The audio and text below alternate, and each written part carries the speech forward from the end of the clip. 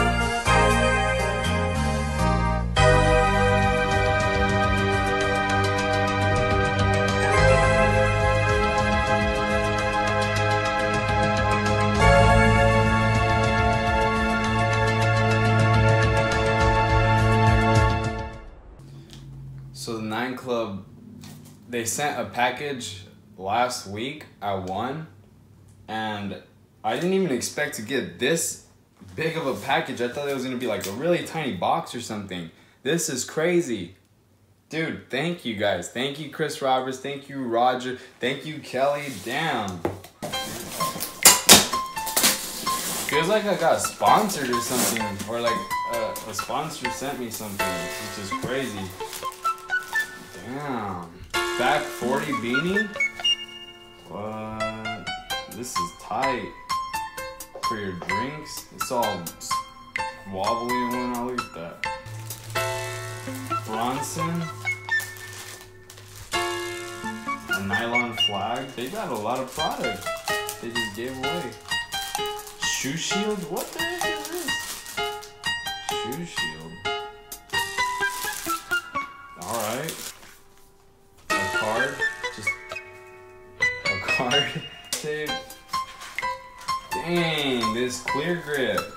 Dude, I haven't even tried clear grip tape since it came out. So that, I'm, I'm gonna use this later on or something. Not, not anytime soon, but Mob, is this the grip gum? Like whenever your board gets dirty? Clean, what? Where you clean your grip tape. What is this, wax? Curb killer wax? Sure. Oh, LSD? Let's skate, dude? Crooked? Look at this. What is this? What the heck? That's tight. I'm gonna have these in the car. Mob shirt, size large. Carlos Ribeiro signed board? What the hell?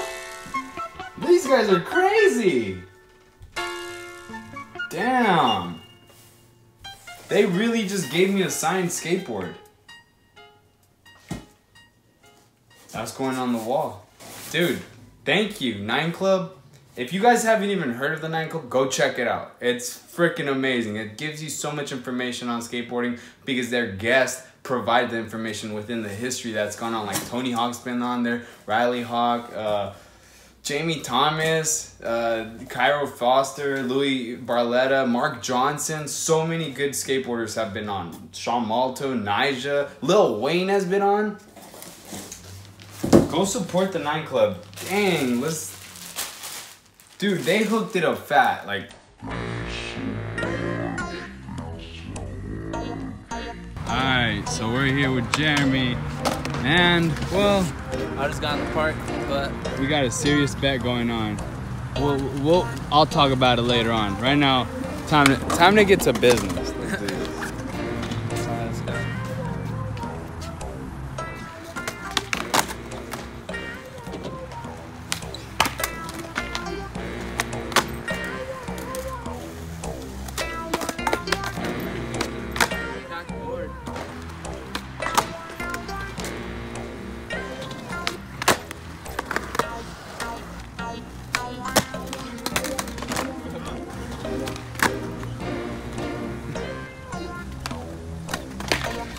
Hey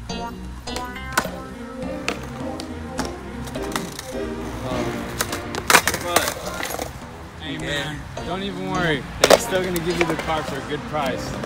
Man, that's what friends do. A lot of you guys don't know, but I've been knowing Jeremy for like 10 years already. We've been through a lot. We've seen people get shot.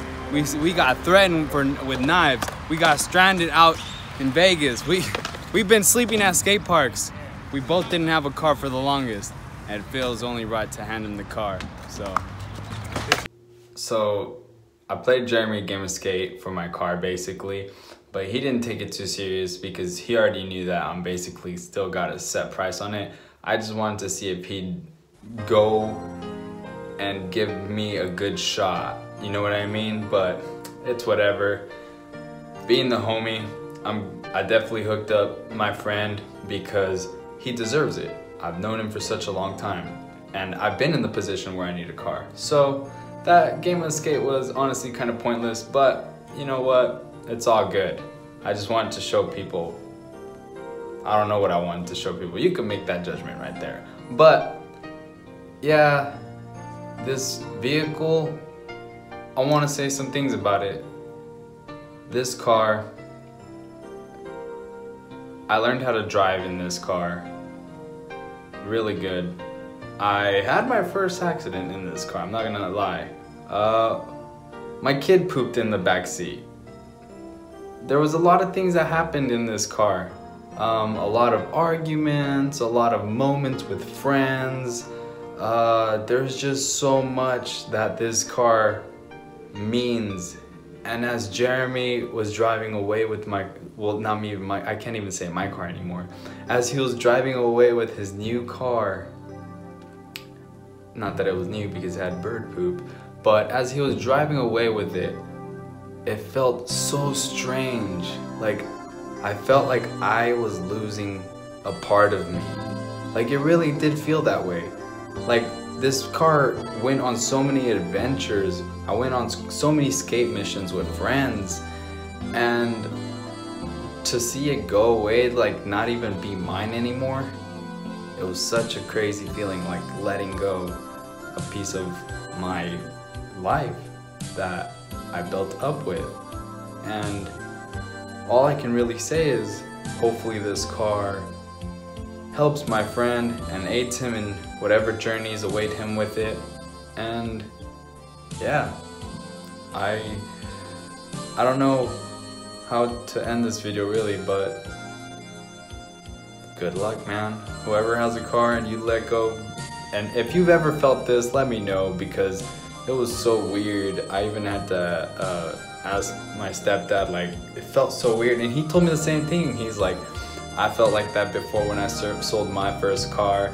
And that was my first car, so it was just crazy, man. Like, I hope you guys enjoyed this video. Thank you guys for watching. Like, subscribe, and sayonara till the next one. And one last thing, I'll be in South Korea in May 11th through the 19th. So if you're from South Korea, what's up, dude? Let's skate.